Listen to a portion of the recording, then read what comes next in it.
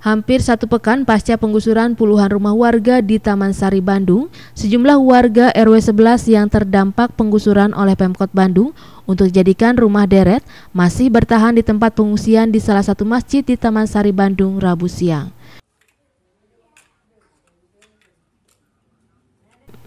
Nampak warga yang bertahan tidur di masjid hanya beralaskan karpet dan perlengkapan tidur seadanya.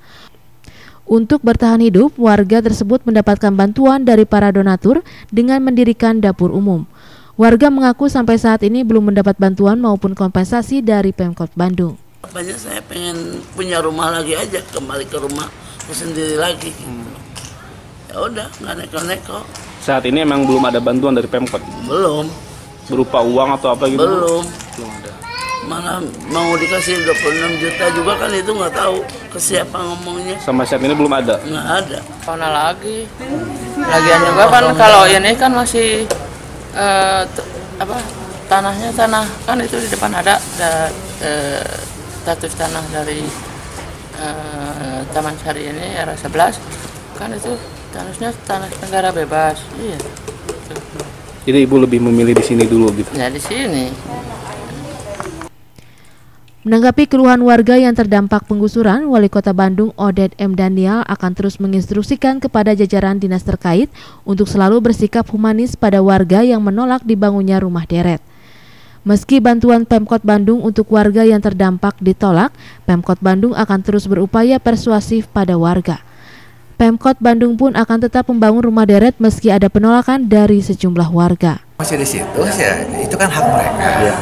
Yang penting saya sudah instruksikan ya sekarang saya juga sudah kumpulkan nih di semua semua terkait bisa kumpulkan agar tetap kita memperhatikan mereka dari si humanisnya eh yeah. humanisnya ya kita yeah. kita tetap mereka saya minta kepada nanti para uh, semua dinas yang terkait yeah. tetap mereka harus diperhatikan urusan mungkin uh, logistiknya segala macam kita perhatikan saya kira dan kita kan nggak bisa maksa yeah. itu kan mereka seperti itu yeah. yang lainnya sekarang sudah sudah berubah saya kan cuma ya silakan saya kan nggak bisa maksa Warga berharap agar adanya solusi terbaik dari Pemkot bagi warga yang terdampak penggusuran rumah deret.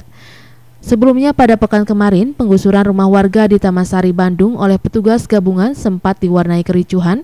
Bahkan dalam kejadian tersebut warga pingsan karena rumahnya digusur dan salah satu anggota Satpol PP Kota Bandung harus mendapatkan perawatan tim medis akibat terkena lemparan batu oleh oknum warga. Yuwana Kurniawan, Bandung TV